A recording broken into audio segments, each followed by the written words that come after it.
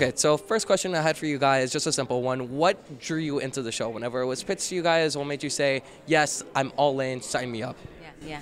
Uh, well, the script is incredible. Um, it's uh, like an existential comedy, and I read it and I immediately was like, oh, okay, so this is like if Silicon Valley and Black Mirror had a little baby. Yeah. Um, so yeah, I was like, I was in. Yes. Immediately, it's uh, super funny and uh, it, it yeah, very existential. Yeah, it feels like it's got um, the timing feels perfect for I think the tone and the taste of what people want. You want to ask these bigger questions. You want to feel like okay, what is our reality? Where are we now? Where are we gonna be? And I feel like that's what's exciting about the script and the, the discussions that the characters are having within the entire storyline. So.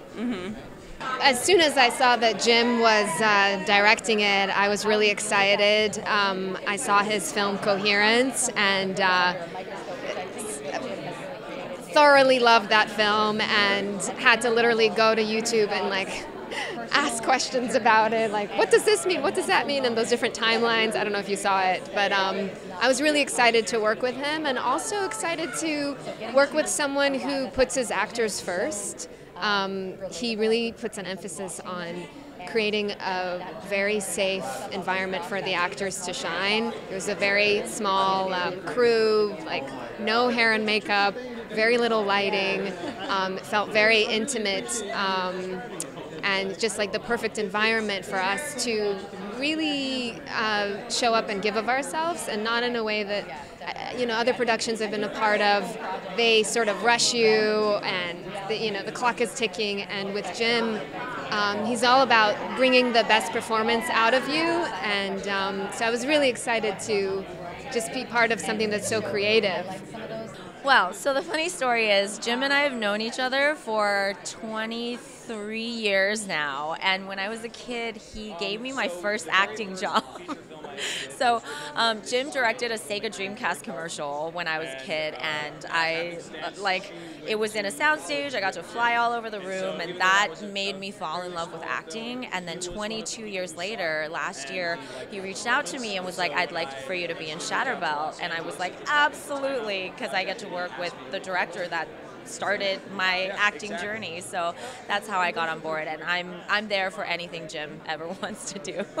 This project came to me in an audition, and I thought the script was so, um, let's say, eccentric that I was like, I don't know what this is going to become, but I'm fascinated and I want to learn more. And I thought that our writing really approached a sort of consciousness about reality that was truly intriguing. And I wanted to know what is this character thinking? What is she experiencing a revelation about and how can I really delve into that intellectually and emotionally to tell that story because I feel like every day we go through these moments of really having our minds blown in a certain sense and this this show really gets to expand on that essence and that feeling of anxiety and revelation and earth-shattering realizations about how everything happens around us. The whole uh, like idea of the episode I'm in is that my character Exabyte is from another dimension, and I felt like sometimes in my real life I feel that way. So I felt like I was able to bring some of myself into the character. Like I always feel like if I can bring a part of myself into the character, it, then then you know it makes it easier for me. Like the through line for all of them is just like different state of consciousness, kind of like uh, I don't know, almost like a quantum physics possibility. You know, like uh, almost as if multiverses kind of mesh together and there's an overlap. So yeah, I think it's kind of it explores that other space. Yeah. You know, when I first read this, it was very unassuming to me because I didn't really I didn't really have any scope of like who the people were that were attached to it, but when I read the script, something really stood out to me because it captured a very independent spirit and it also kind of it- compelled me in a way because it was like dealing with questions of reality in a way that you see in like a Black Mirror or other types of like non-traditional sci-fi and that was what I thought made it the project had a lot of potential. Well, I'd seen Coherence before, and Jim's first movie, and it blew me away. Um, so when I first read the role, I I'll be honest, like there were parts where I was like, you know, um, his his picture is clearly bigger than mine, but it was a leap of faith, and uh, every second I was on set was just more and more proof of like, no, this was the right choice. This is going to be awesome. Well, I was really lucky that it got offered to me from uh, James watching my reel years ago. So they just brought me the whole thing all in one package. They were like, here's the role, here's the show, do you want to do it? And I knew that James was amazing, and I knew Patton Oswalt was in it, and I was, uh, it was the end of quarantine, and I was ready to get out of the house. And I was so excited to do anything, let alone something as amazing as Shatterbelt. With such an unorthodox show, with such abstract and strange concepts, what made you, as an actor, force yourself to think differently or think outside of the box to get into the role of the character you were presented? I think we had a really beautiful opportunity with Jim's script, which was he writes in a very intellectual manner. And so, when if you're a heady actor, I think this was a phenomenal project to get involved with because you can really approach it from thought process and dive into the intellectualism and the and the moments to moment thinking that your character is going to be going through. That's that's one of my favorite ways to work. And so this script really highlighted that and allowed me to sort of delve in from that heady place of thinking wow, what is going on? What's happening? How is how is everything around me working? And how did I not realize this before? How am I just finding this out now? So I think exploring that mental space was just a gift and a joy. I would say Jim is a phenomenal director that thinks outside the box, so I kind of have to do the same. Um, he directed at least our episode, which was Emotus, the one with the apple. He directed it almost like a play, and it was such a cool experience because at one point we forgot where the cameras were, and there were three around the room. The entire set was a hot set, and we were just living and just being in the circumstances and it didn't even feel like a shoot anymore so it was a very cool experience He wants a very naturalistic performance. Right. So he would rather you say the wrong lines or make up your own lines than worry about the dialogue that's written. Um, because he, uh, if he ever like sensed a little bit of acting or performance coming Mhm. out, he'd be like, okay. It's time to take it Let's back. do it again. Let's do it again. Stop Yeah. doing what you're doing. yeah. Lose And be a all of your training. Just be a person. Just exist. I promise I will catch you existing on camera. Yeah. So um, yeah, the acting is actually incredible in all these episodes because it like lends itself to a very naturalistic performance. So that was, um, yeah.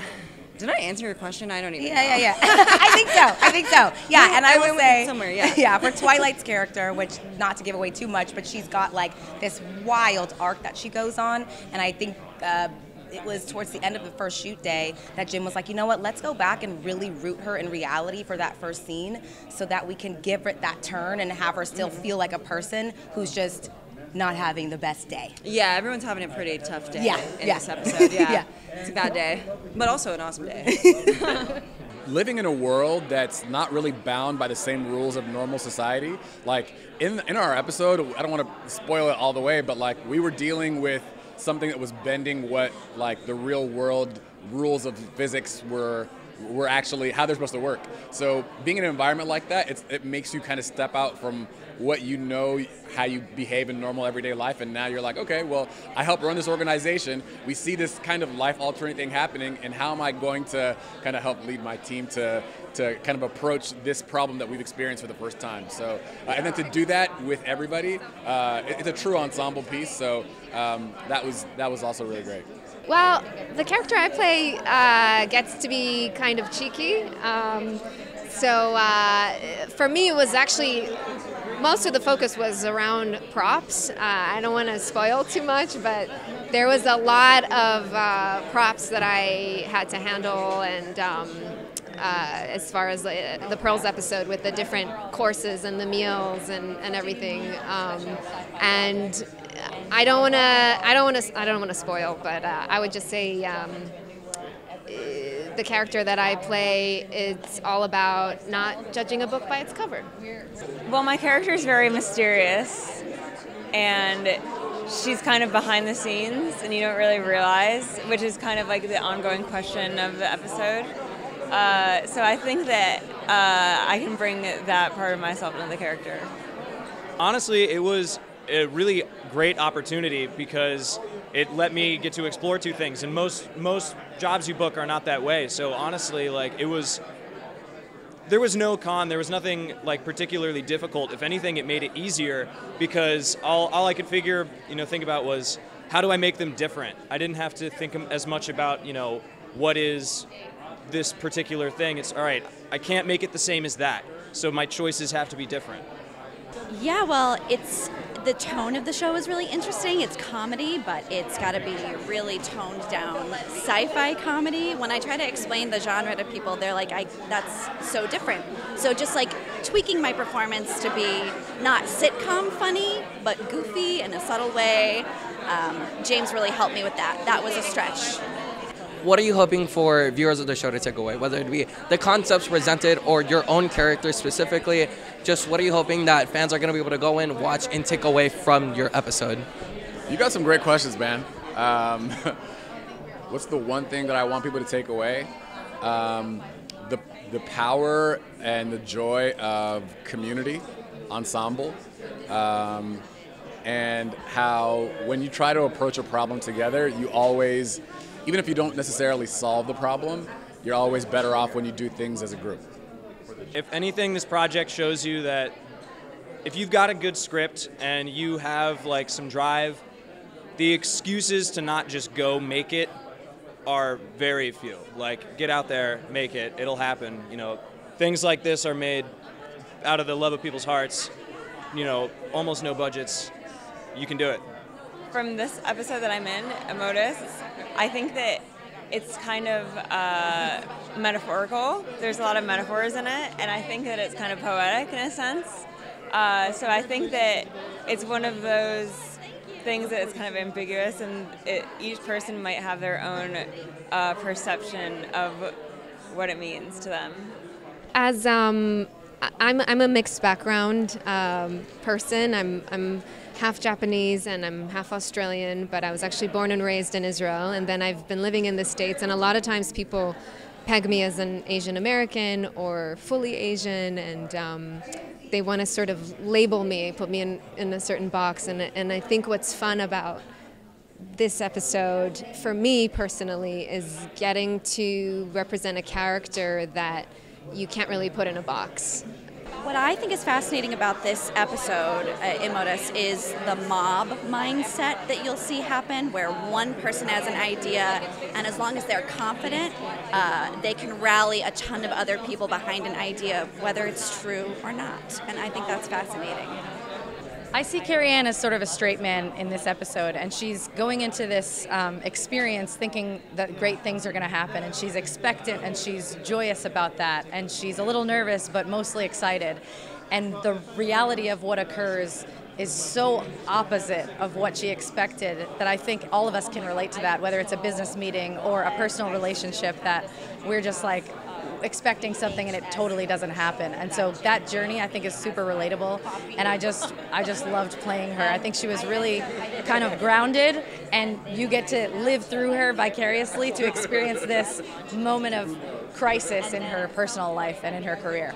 It is a bonkers episode, and it really, there's some existential stuff, some philosophical stuff, and I think Jim did a really great job of making an episode that really makes us all kind of tune within and think about what what is reality. So I hope anybody that watches this can really sit down and ask themselves what what our reality is and what the construct is and whether it's our own making of the reality or what society thinks it is. So I'll leave you with that. I think it's uh, one of those projects where everybody can take a little something different from each episode and if they were to watch it multiple times, they would pull out also different, you know, things. Um, but all of the episodes definitely make you think. Like these are stories that after you watch it, you're probably going to walk out and talk about it and be like, yeah, but what about? Everybody's going to have a theory about certain aspects, and like plot points. I think. Well, um, it's. I mean, I, God, I don't even know how to answer that question. I, it's, it's. We like hope you so- enjoy it. Yeah, first of And all, and had fun. I hope you enjoy it. um, it's, uh, it's such an existential. It gives you a little bit of an existential crisis. It makes you think. Mm-hmm. Um, so I think there's a lot to interpret and digest, and um, and it, it just raises a lot of questions about reality Yeah. and what's real. And um, and uh, I think in general, it's like what what does anyone want to do when they create something? Hopefully, create a discussion around it. That when you leave the theater, when you leave the experience, you're still having that sense of community around the project. So, you know, what does it mean about your relationships? What does it mean about your existence? So, Yeah. I just hope people are, you know, hope thinking e- about those things. I hope everyone has a little bit of an existential crisis. Yeah, in a little minor possible. freak out, just enough of a freak out, just a little bit of an with your feet on the ground. Yeah, Yeah, like a cute one. That would be cute. Yeah. Hook 'em horns. we would really. baby, hook 'em. Hook 'em horns. yeah, what say she it said. too. Hook, hook 'em horns. It's hook 'em horns. All God, say it like you mean it. God. Hook 'em horns. Hook 'em horns. Do it again. Hook 'em. Hook 'em Hook 'em- horns. Oh my God, it's a mess. Hook 'em horns. There we go. We got it.